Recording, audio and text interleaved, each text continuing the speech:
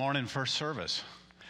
Today uh, has the potential to be a very good day because the famous groundhog has predicted an early spring. And not only that, odd makers have predicted a Kansas City win over San Francisco in Super Bowl uh, 54. But no one has of yet predicted a short sermon at Mount Gilead this morning. I said today has the potential to be uh, a good day. I couldn't help myself. I, I had to do it. I saw the title on the article and I should have just skipped over it, but when I saw the title, I had to read it. It was How to Stop Those Annoying Problems of Church Growth. What kind of a title is that? How to stop those annoying problems of church growth. In other words, how to intentionally uh, make your church get smaller and cause people to leave. So I read it.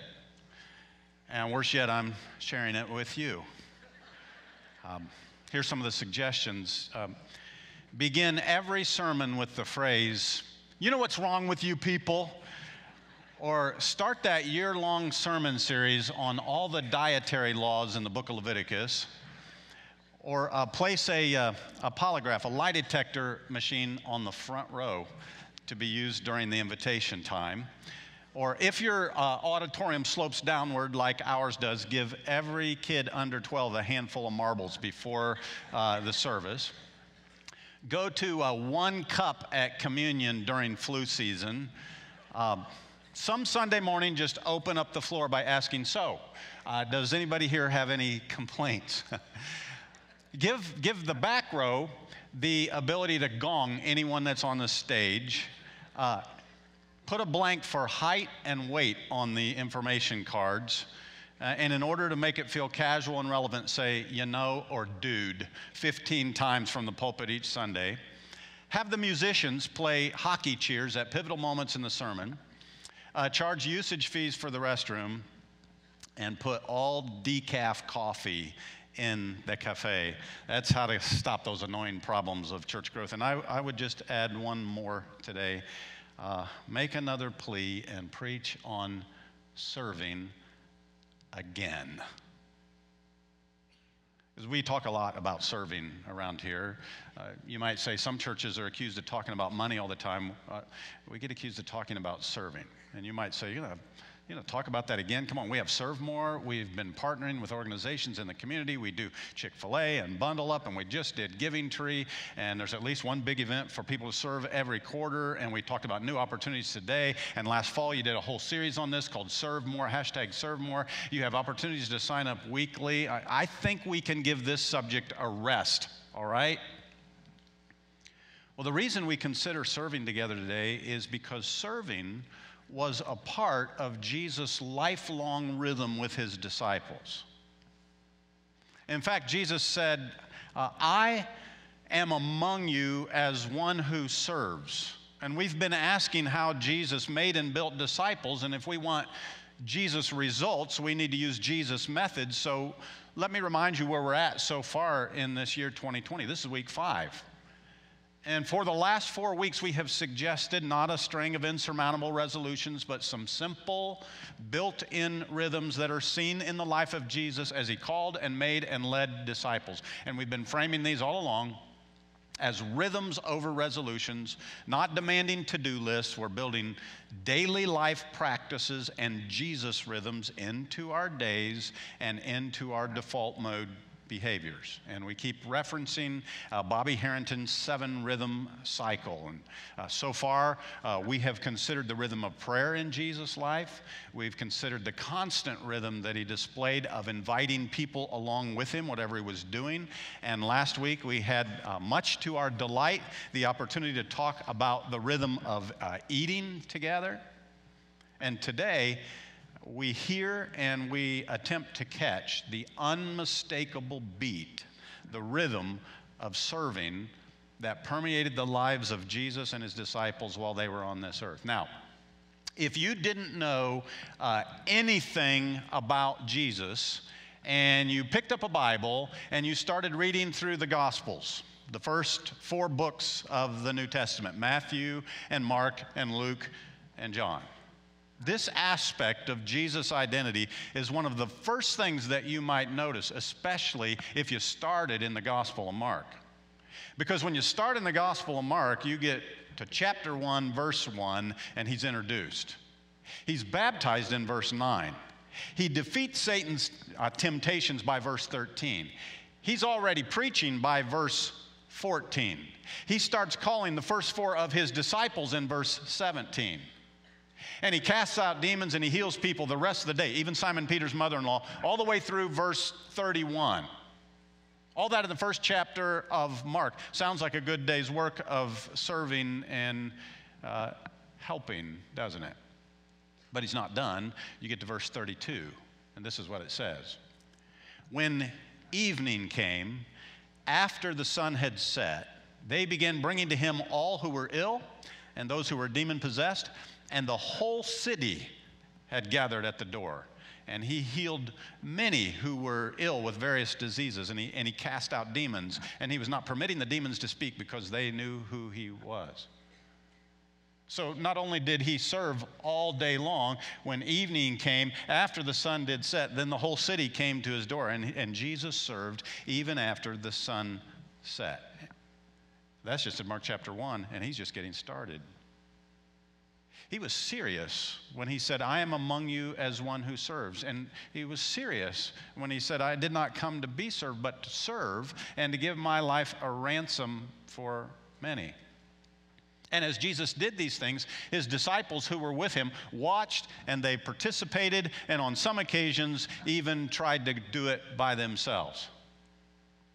And later, the great apostle Paul would urge believers in Philippi, and by extension, urges us to catch that rhythm of serving together. In Philippians chapter 2, he says, Have this attitude in yourselves, which was also in Christ Jesus, who, although he existed in the form of God, did not regard equality with God a thing to be grasped, but he emptied himself, taking the form of a bondservant, being found in the likeness of men. Being found in appearance as a man, he humbled himself by becoming obedient to the point of death, even death on a cross. I mean, this rhythm is all through the life of Jesus. And it's like, um, this rhythm is like a syncopated rhythm. A syncopated rhythm is a rhythm where the accent or the beat is placed in a place where you wouldn't normally think it should be. And here we have the Lord of the universe giving up his place in heaven, not only to live as a human being, but as a servant. And he focused on the values and the interests of others, and he let go of rank and status and privilege, and he moved toward total obedience. Jesus was a servant, it was a rhythm in his life and in the lives of his disciples. And then when we talk about Jesus as a servant, we think of that quintessential moment in John chapter 13 Maybe your mind has already gone there to where Jesus washed his uh, disciples' feet. Verse 4, John chapter 13. Jesus got up from supper.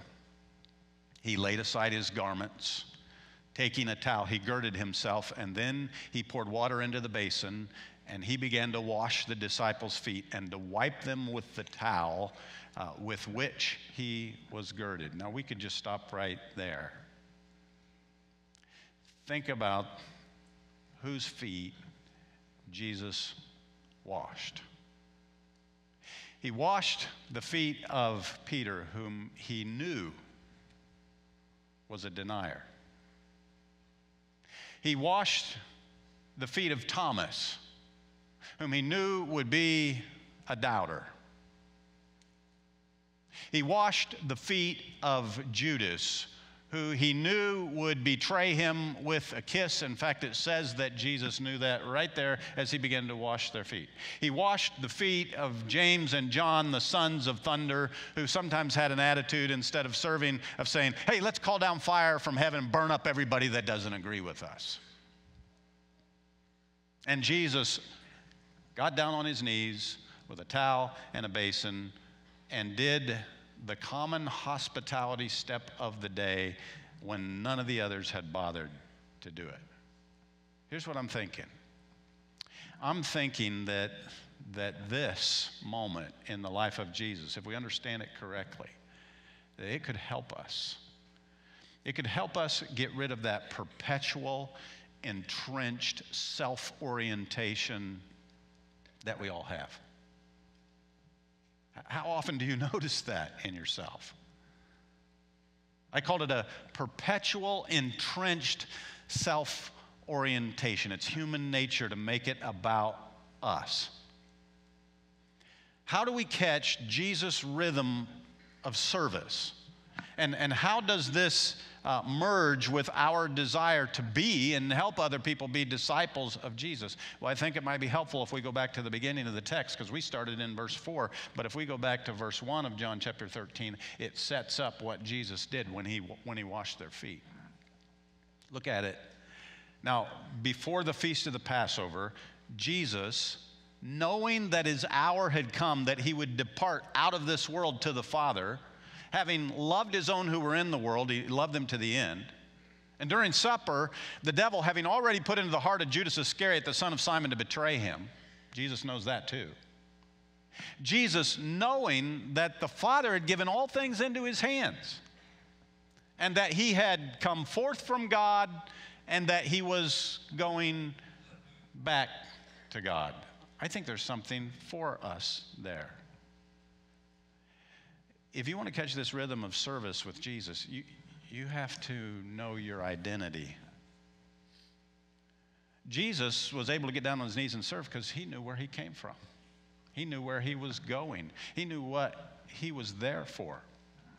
And when you know where you come from and your purpose and where you're headed, when you're confident in your identity in Christ, it frees you and even compels you to serve. And the rhythm begins inside. See, Jesus knew his authority and his purpose. He was sent by his Father, he was returning to God in heaven, so he served. He washed feet.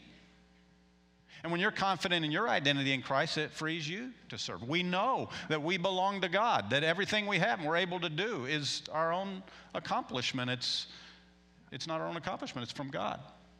In fact, uh, sometimes what we tend to do is we tend to um, accomplish things in the flesh instead of in the spirit. And that's, uh, that's something that can happen for preachers.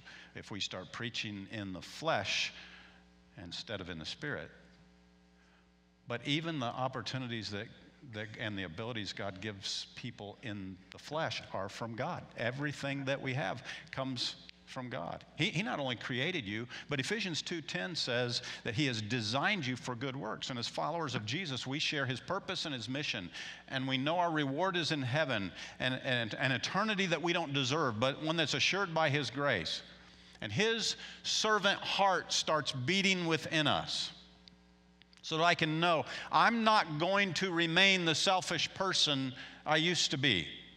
He is transforming me. I have new priorities, a new spirit within me. He's making me into a servant, overcoming my self focus.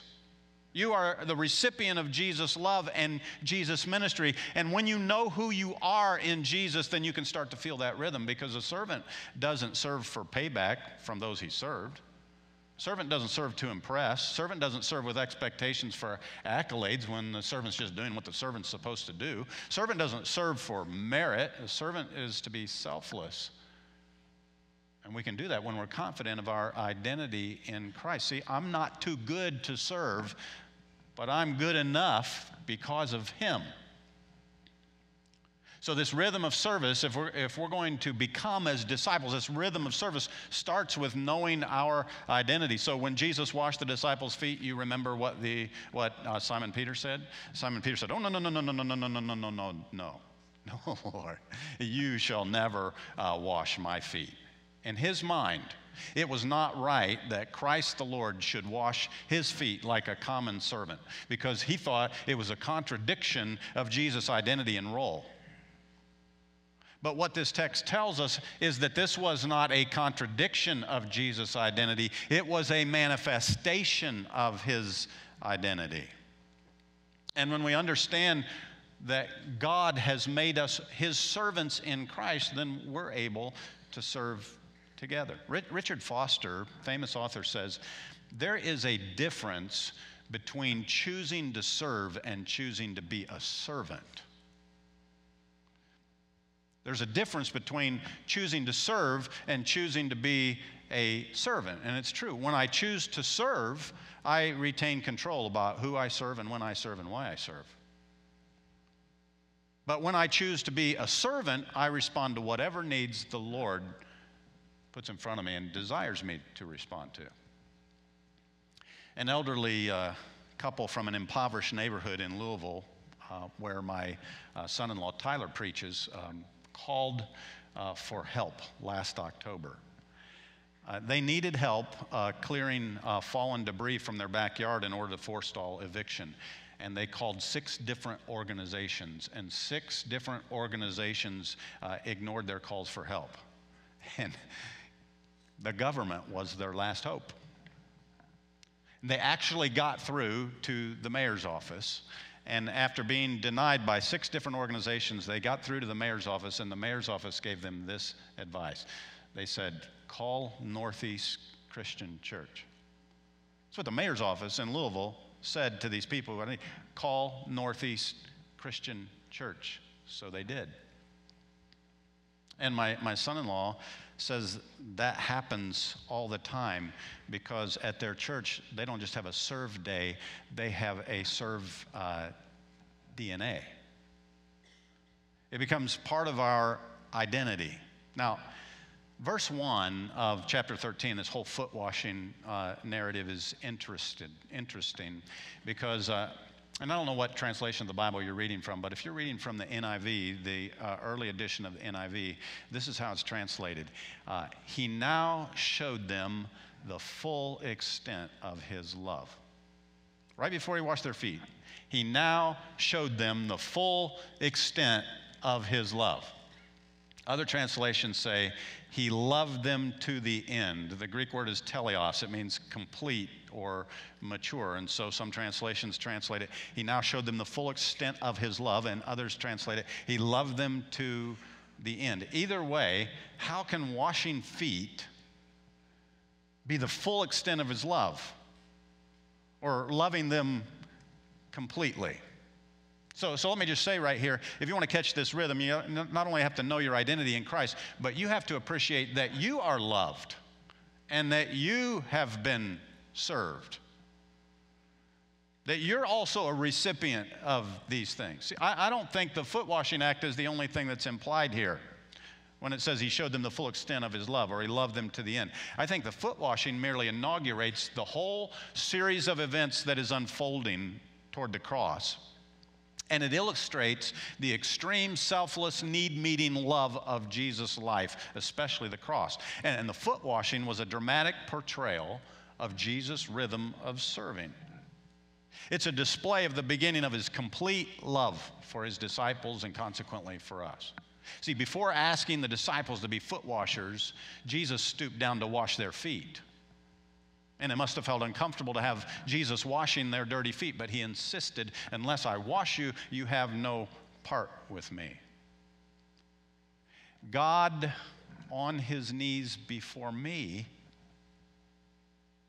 humbles me and strangely can make me more God centered. You see, if my only view of God is the fact that He is the supreme king at the summit of the chain of command, a king on the top rung, rung of the ladder, it could actually make me more self centered and preoccupied with me because I'm always wondering how I'll get up to Him and worrying about how I'm doing. Am I making progress toward Him? How do I make my way up to Him? But God on His knees in front of me, serving me, taking care of my needs, that shifts my focus. Now, I'm not worried about being good enough. He's taking care of that. I can focus on Him and His goodness and His glory and His mission. And that's why later, Paul in 2 Corinthians 5 says this Christ's love compels us. He died for all. Listen to this. He died for all that those who live should no longer live for themselves, but for him who died for them and was raised again. And later in John 13, Jesus said, As I have loved you, so you must love one another. See, if you, if you want to catch this rhythm of serving with Jesus, you, you have to, like him, know your identity, but you also have to realize that you have been loved and that you are loved and that you have been served. Because when we're truly convicted, of what Jesus has done for us, then we're compelled to lay down our lives for others. We love because he first loved us. And one of the most powerful ways to overcome the priority of self, that entrenched self orientation, is to be overwhelmed by the love that Jesus has for us, and then we can live for the well being of others. Well, let's read on, verse 12. So, uh, when he had washed their feet and taken his garments and reclined at the table again, he said to them, uh, Do you know what I have done to you? You call me teacher and Lord, and you're right for so I am.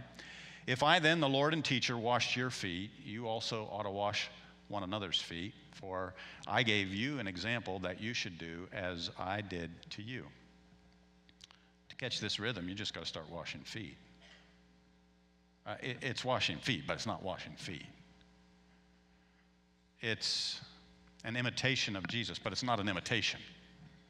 It's a blessing, but it's not just for the blessing. You, you, won't catch this rhythm unless you start doing it. You, you stoop down low and you get your hands dirty blessing others. It, it's a position of selfless influence. And Jesus becomes evident when we lay ourselves down for others. And as we wash feet, others follow in our way and wash someone else's feet. It's a rhythm we can catch. And Jesus concluded by saying, Truly, truly, I say to you, a, a, slave is not greater than his master, nor is the one who is sent greater than the one who sent him. If you know these things, you're blessed if you do them. If you, uh, if you were to go online and you were to Google for articles about people taking selfies, you want to talk about self orientation, uh, you would find that nearly every major news outlet and all kinds of organizations have written articles bemoaning of how self-obsessed Americans are and this whole phenomenon of uh, selfies. With the advent of the cell phone, we're constantly uh, sharing and showing pictures, showing the world selfies. You show us our friends, you show us your puppy, you show the world your coffee, you show us your food, you show us your grandchildren, you show us your screenshots, you show us way too much. What if we were bent on showing people Jesus? I don't mean with our cell phones, I, I mean with our lives. What if we adopt a serving mentality over a, a selfie mentality? So, what I have here with me today is a little diagnostic test. And this will assist us in determining, discerning whether the servant heart or attitude is developing within us. And so I'm going to give you some, some uh, negatives and some positives. So let's, uh, let's, let's start with the deficiencies. There might be a deficiency uh, in your servant heart uh, when you justify the absence of serving in your schedule? Uh, when you start naming all the stuff you already once did or do? Uh, when you serve or uh, but complain about it? Uh, when serving is just a check the box kind of thing to make you feel less guilty. Um, when you're mad if you're not seen or recognized when you serve. Or, or here's one uh, when you humble brag about it. You ever seen somebody humble brag? You know what that is. It's, it's, it's, it's when they talk about themselves, but they do it in this humble sort of way. They manage to tell you everything they're doing uh, and sound humble in the process. If you have a martyr complex, if it's more about your passion and fulfillment than others, when people would probably be shocked if you volunteered or when you only serve in certain arenas, probably when there's some benefit to you, or when you don't think of serving and theology as being connected. You know what I love seeing here? I love watching some of our most theologically astute uh, teachers and scholars serve in other ways, and it happens all the time. Now, let me give you some positive things. The, these are ways that you know you're growing in your servant attitude. Uh, when you find joy in seeing the benefit to those that you serve, when there are times that you can const- uh, confidently say no because you know you often say yes. Or when you serve in a capacity that nobody sees and nobody knows about, and that's okay with you. And when you understand that, that serving is doctrine, right along with sin and sovereignty and stewardship and salvation, when you look for opportunities instead of avoiding them, when your service starts to give you a platform for truth telling, uh, when, when serving is a consistent part of your attitudes and your actions and your identity. And when you serve, even though you could easily just pay it done. Some of the most powerful, accomplished, even wealthy people I've known in life were servants. When it would make a noticeable difference if you stopped doing it.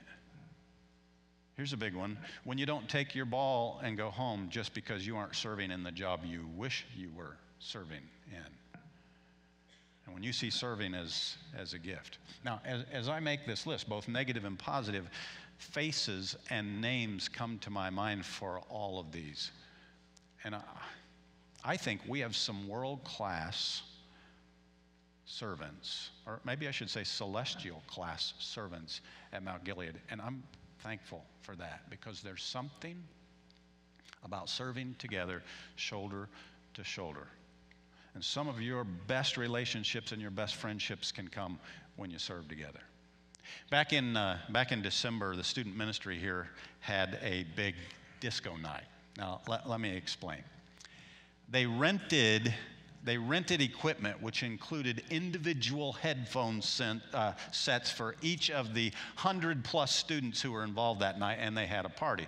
But here's the kicker the individual headsets were connected to different DJs playing different music so that all the students were not hearing the same tune. And with those headphones on, they were singing out loud, which is comical enough when you're wearing headphones. And they were dancing to the music that they heard, but the words and the music were different for each one because it came from a different DJ. So you had over 100 kids singing and dancing to entirely different beats and rhythms. It's, it was hilarious. But this, this rhythm of serving is a Jesus rhythm. And if we all get on the same page, harmony and beauty and glory will follow, and the sweet music will not only be pleasing to God, it'll help us help others toward lifelong disciplehood.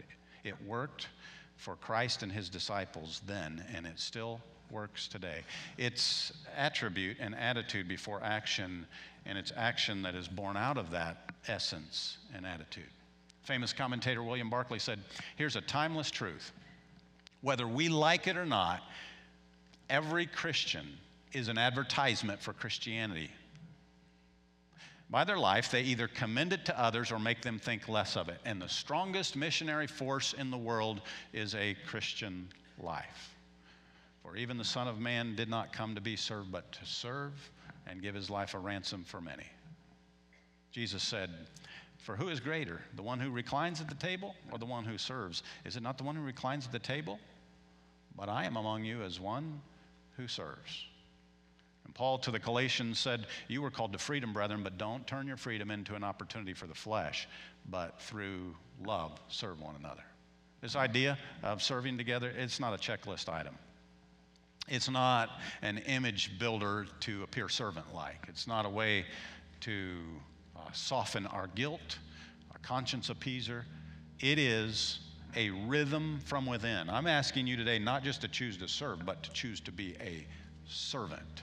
It's not a PR stunt. It's not a photo op to promote the church or its budget or save on advertising costs. It's not for bragging rights so we can beat our chest and be the most exciting game in town. It's not to make people indebted so they feel obligated to hear our spiel. It's not a sales gimmick just to trick you into implementing an ulterior motive. In fact, when we serve, we remember that evangelism is our ultimate motive, not our ulterior motive. It's not a temporary fad. This, this church has been full of people serving since 1835, and Lord willing, people will continue to serve from this place long after all of us are gone. It's not to earn points with God. We're saved by grace, not works. It's not the gospel itself. Rick Rusaw writes Good works can be the bridge, but they're not the saving message. Good works are the complement, but never the substitute for the good news. Serving is what we were made for, it is what real believers do. It is what will bring kingdom results. It is what helps prove our sincerity, our authenticity. It is what meets needs and gets the job done. It is a demonstration of the gospel, and it is actually sometimes noticed by the world, and it's always rewarded by God. And it starts with knowledge and identity and attitude. It starts with one another, it starts with doing together. So let me conclude with the words of the Apostle Peter, the one who didn't want Jesus washing his feet when Jesus started. Later he would write, 1 Peter 4 Whoever speaks is to do so as the one who is speaking the utterances of God. Whoever serves is to do so as one who is serving by the strength which God supplies, so that in all things God may be glorified through Jesus Christ, to whom belongs the glory and the dominion forever and ever. Amen. Let's offer ourselves to Him as His servants today in prayer. Would you bow with me? Father, thank you that we are loved and served by you. Thank you for the identity that you give us in your Son, Jesus Christ. And Lord, today, thank you for the opportunities that you are going to place in our paths, even yet today, to wash feet and to serve. And Lord, may you instill this rhythm of serving together uh, into our lives, and may it make a beautiful, beautiful harmony for your kingdom, for helping us and others to become lifelong disciples of Jesus. Lord, we give ourselves to you as your servants today. In Jesus' name we pray. Amen. Have a great day. Go out and serve today.